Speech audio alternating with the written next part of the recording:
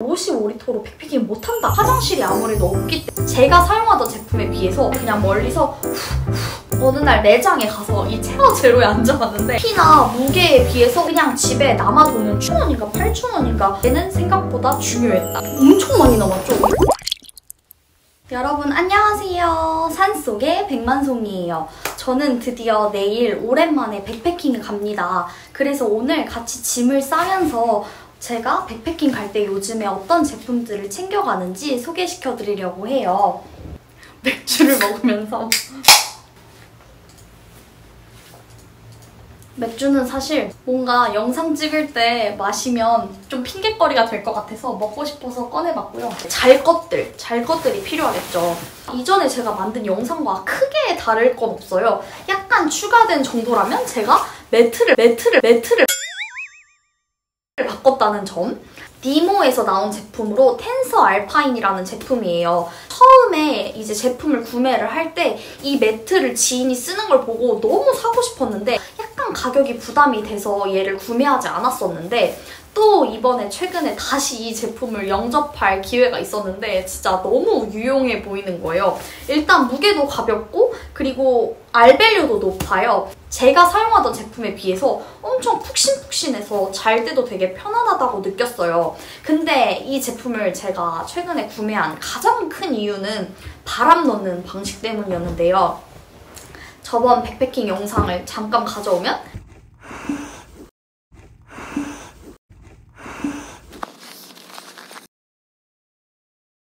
얘는 이렇게 뭐 따로 입으로 불거나 아니면 기구를 사용하지 않아도 따로 딸려오는 이런 자그마한 바람 넣는 백이 있어요. 그 백에 바람을 그냥 멀리서 후 풍선처럼 불고 그 백을 꾹 눌러주면 이렇게 바람이 들어가는 형식이고 바람을 뺄 때도 이 입구가 당연히 그만큼 크기 때문에 툭 열면 바로 바람이 빠져서 엄청 유용하더라고요. 그래서 얘가 이제 올라오자마자 바로 구매를 했습니다.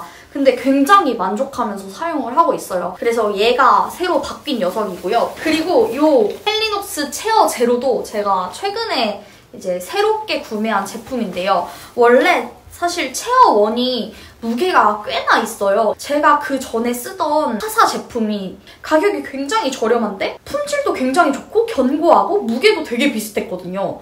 제가 지인들이 사용하는 체어원과 비교를 했어도 전혀 품질이 뭐 낮거나 이런 생각이 아예 안 들어서 아 굳이 돈을 투자하지 말자라고 생각을 하고 있었는데 어느 날 매장에 가서 이 체어 제로에 앉아봤는데 너무 이게 너무 가벼운 거예요. 있고 그만큼 좀 잘 날아가고 높이도 좀 낮고 크기도 좀 작은 건 있는데 사실 제가 체구가 작잖아요. 그래서 저는 일단 들고 갈 때 가벼운 게 최우선이다라고 생각을 해서 이 제품도 이제 추가로 구매를 하게 됐고 이 녀석 말고는 이전 구성을 그대로 가지고 가고 있습니다.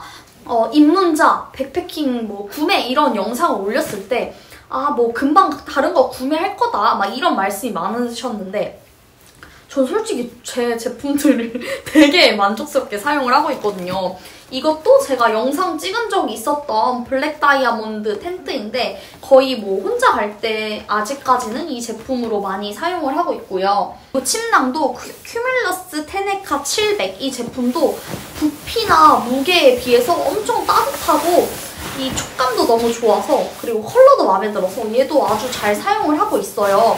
그리고 또 하나 추가된 게 있다면 이 베개인데요. 이 베개는 제가 그냥 캠핑샵 그런 데 있잖아요. 막 고릴라 캠핑샵 이런 저렴하게 캠핑 제품들을 파는 곳에 갔다가 얘가 7,000원인가 8,000원인가 엄청 저렴한 가격에 판매를 하고 있는 거예요. 베개는 어차피 다 중량이 가볍잖아요. 그래서 얘를 구매를 했는데 생각보다 너무 편해요. 저는 그 전에는 아 무게 또 줄여야 되고 또 베개도 가격이 많이 나가는데 꼭 베개를 써야 되나 그냥 뭐 가방 베고 자도 되지 않나 라고 했었는데 막상 베개를 써보니까 진짜 어, 질이 확실히 백패킹의 질이 달라집니다. 얘 바람 넣는 것도 여기 이렇게 딱 눌러서 넣고 바람 넣기도 굉장히 편해서 사실 얘는 브랜드도 없고 그냥 made in China 써있는 거 봐서는 뭐 구입처를 몰라서 구매하기가 애매할 수도 있는데 오늘의 포인트는 베개는 생각보다 중요했다. 그래서 저는 이런 또 작은 것들은 또 넣어놓으면 제가 또 까먹어요. 또 올라가가지고 베개 안 쓰고 또 까먹고 이런 경우가 있어서 다 같이 말아서 이 침낭 속에 같이 넣어서 보관을 하고 있습니다. 이렇게 하면 잠자리까지 이제 완성이 됐어요. 첫 번째로 음식을 먹을 때는 어떤 걸 요즘에 챙겨가냐면 사실 어, 처음에는 그래도 올라가서 화식으로 요리를 먹고 싶어서 막 뭐 바로쿡이나 그런 불이 없어도 끓일 수 있는 도시락 같은 걸 챙기고 다녔어요. 근데 요즘에는 비화식에 빠지니까 사실 뭐 굳이 올라가서 먹어야겠다라는 생각이 별로 안 들더라고요. 그리고 겨울 같은 경우에는 좀 추우니까 뭐 뜨끈한 국물이나 이런 게 땡길 수도 있는데 사실 요즘 같은 경우에는 그런 게 하나도 안 땡겨서 음식 같은 경우에는 밑에서 어, 좀 비화식으로 챙겨 먹기 좋은 것들을 주로 챙겨가고요. 저는 개인적으로 어, 이제 여름이라서 상할까봐 회를 좀 못 가지고 가긴 하는데 저는 요즘에는 회를 굉장히 좋아하고 아니면 뭐 간단히 갈 때는 샌드위치 같은 거를 챙겨가기도 하고 또 닭강정이나 이런 것들도 많이 챙겨갑니다. 그래서 음식이 그렇게 해결이 되기 때문에 나머지는 뭐 물이나 커피 이 정도만 챙겨가고 있는데요. 보온병에 뜨거운 물을 한 500ml 정도 챙기면 뭐 추울 때 한 잔씩 마셔도 좋고 다음날 아침에 이렇게 커피 챙겨간 거에 먹기도 좋고 제가 뭐 산 위에서 그렇게 많이 먹는 편은 아니거든요. 왜냐면 산에서 또그 산에서 또 백패킹을 하게 되면 화장실이 아무래도 없기 때문에 너무 많이 먹으면 또 다른 문제가 생길 수도 있어요. 그래서 짐도 줄이고 그런 문제를 방지하는 측면에서 사실 산에서 그렇게 많이 먹지는 않습니다. 그래서 물은 이 정도 챙겨가도 충분한 것 같고요. 어, 제가 이거는 영상을 찍었었던 그 보온병인데 이게 보온력이 좋아서 다음날 아침까지도 뜨거워서 뜨거운 커피를 마실 수가 있어요.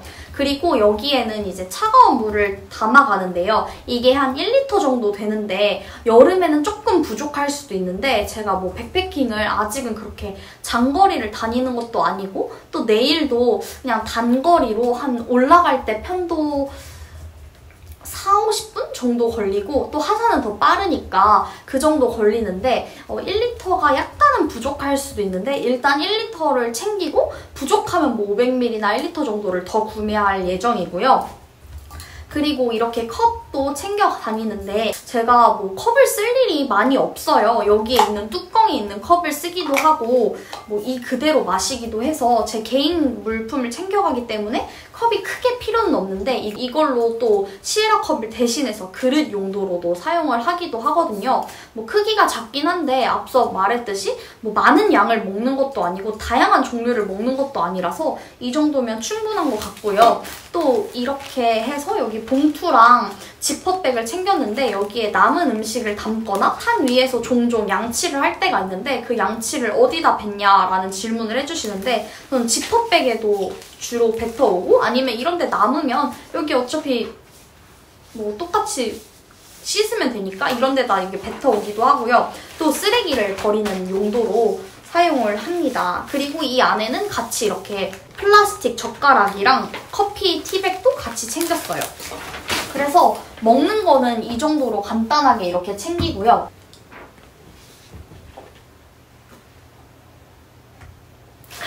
이제 또 다른 자그마한 것들도 이렇게 파우치 하나 안에 다 넣었는데 여기는 뭐가 들었냐면 제 생명과도 같은 보조 배터리 또 이거는 제가 항상 영상에도 나왔듯이 위에서 이제 씻을 수가 없기 때문에 cleansing water를 챙겨 다니면서 cleansing water로 얼굴을 닦고 또 그 위에 스킨으로 얼굴을 한 번 더 닦아요. 그 다음에 로션을 바르는데 그렇게 조그맣게 샘플로 받은 것들을 이렇게 챙겼고요. 이것도 각을 샘플 받은 것도 챙겼고 요즘에는 날씨가 많이 따뜻해지기는 했지만 제가 추위를 굉장히 많이 타는 편이라서 이 핫팩도 두 개 정도 챙겼습니다. 흔드는 핫팩보다는 이렇게 붙이는 핫팩을 주로 사용을 하는데 그 이유가 흔드는 핫팩은 무게가 굉장히 많이 나가요. 그래서 어, 요즘 같은 날씨에는 이것만 딱 챙겨서 이건 되게 가볍거든요. 그래서 등에 붙이고 추울 때 그렇게 하면 많이 체온이 확 올라가서 좀 좋은 것 같아요. 제가 요즘에 는 이 이어폰을 거의 안 쓰는데 얘는 이렇게 귀가 막혀져 있는 커널형 이어폰이에요. 아, 얘를 쓰면 주변 소리가 하나도 안 들려서 저는 보통 실내보다는 실외에서 이어폰을 많이 사용을 하는데 얘가 아예 주변 소리가 안 들려서 좀 위험하다는 생각이 들어서 평소에는 사용을 하지 않고 있거든요. 근데 백패킹을 가면 밤에 잠을 못 자기 때문에 얘를 사용을 하면 아예 주변 소음이 안 들려서 그나마 좀 숙면을 하는데 도움이 되는 것 같아서 이 제품은 백패킹 할 때만 요즘에 챙기고 있습니다. 자질구리한 것들을 또 여기에 담아주고 아 그리고 지금은 잊었는데 제가 선크림이나 뭐 립밤 이런 것도 꼭 챙겨 다니고 있습니다. 제가 따로 딥팩을 들고 다니지 않기 때문에 가방에 작은 것들이 들어가면 찾기가 굉장히 힘들어요. 그래서 그냥 작은 물품들은 보통 하나의 파우치에 다 넣습니다. 그리고 제가 뭐 또 어디에 뭘 놨는지 잘 기억을 못하는 스타일이라 여튼 여기에 이렇게 보관을 하고 이제 또 여기까지 하면 또 씻는 것까지 다 완성이 됐어요. 그러면 이제 근데 또 추가로 제가 가지고 다니는 게 뭐냐면 추울 수도 있어서 이런 긴 바지를 가지고 다니는데 제가 우모 바지, 우모복 같은 거를 살까라고 동계에 이제 생각을 해본 적이 있었어요. 그래서 그 당시에 이제 우모복을 한번 입어보자, 그냥 사기 전에 입어보자 해서 입어봤는데 뭐 딱히 저는 솔직히 말해서 우모복이랑 그냥 기모 있는 바지랑 뭐 부피 빼고는 큰 차이를 모르겠더라고요. 근데 제가 그렇게 장거리를 다니는 건 아니라서 그냥 집에 남아도는 추리닝 바지 이거 하나만 더 겹쳐 입어도 산 위에서 굉장히 따뜻하게 느껴지거든요. 그리고 또 다른 건 안 챙겨도 이제 양말은 좀 챙기는 편이에요. 그리고 또 제가 항상 사진에도 보면 신발을 이제 크롭스를 이 가방 위에다가 같이 엮어서 다니는데 좀 발이 편해야 다, 다 편하고 발이 좀 쾌적해야 다 편하다 이런 느낌이 좀 있어서 양말도 갈아 신을 용으로 또 따로 챙기고 가고 있습니다. 아, 또 지금 제가 너무 조금 지금 한 3주 만에 백패킹을 가다 보니까 뭘 챙겼었는지 잘, 잘 기억이 안 나는데 아!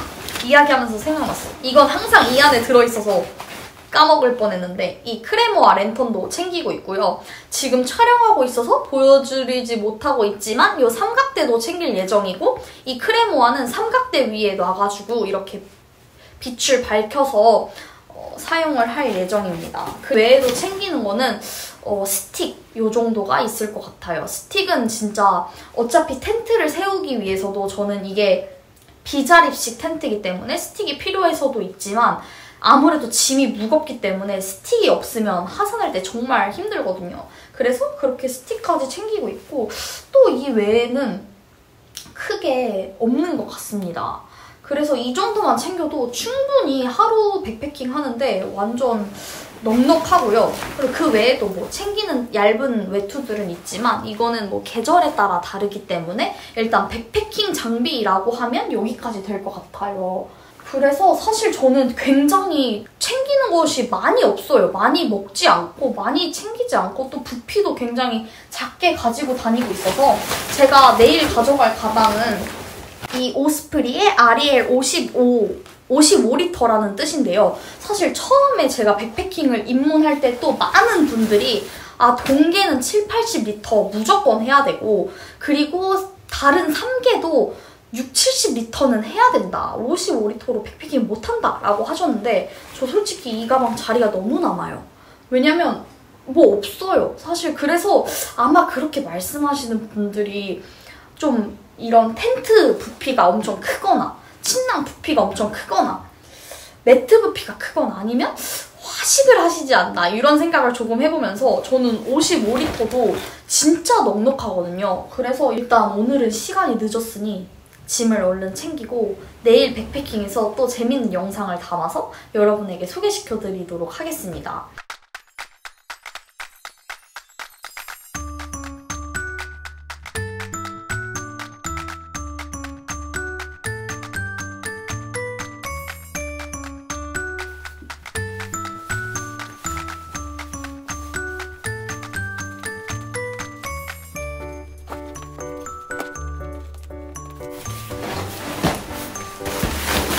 보통 침낭은 이 배낭의 이 하단 부분 있잖아요. 이 부분에다 집어넣습니다. 왜냐면 저는 텐트보다 침낭이 무겁기 때문이죠.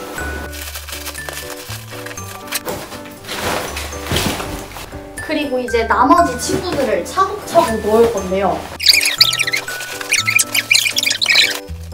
지금 텐트랑 막 이런 거 다 넣었는데 거의 뭐 엄청 많이 남았죠? 이게 또 확장형이라 이만큼이니까 그래서 이 친구들도 다 넣어주고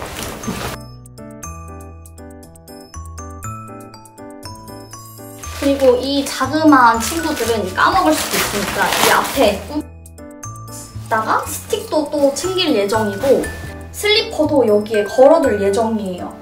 그러면 이제 음식 넣는다고 치면 지금, 지금 여기 있거든요, 짐들이. 음식 이만큼 이것도 안 될걸요? 여튼 동계에는 조금 부족할 수도 있지만 저도 동계는 막 부족해서 양손에 들고 올라가고 막 이랬던 적도 있었거든요. 근데 요즘 같은 계절에는 약간 충분한 것 같습니다. 그래서 이렇게 저희 오늘 내일의 숙소가 이렇게 한 품에 완성이 됐고요. 이제 이 친구를 가지고 얼른 자고 내일 또 백패킹을 해서 재밌는 이야기를 많이 담아오도록 하겠습니다. 그러면 오늘도 영상 시청해주셔서 너무너무 감사하고 영상이 도움이 되었다면 구독, 좋아요 부탁드릴게요. 그러면 다음 영상에서 만나요. 안녕!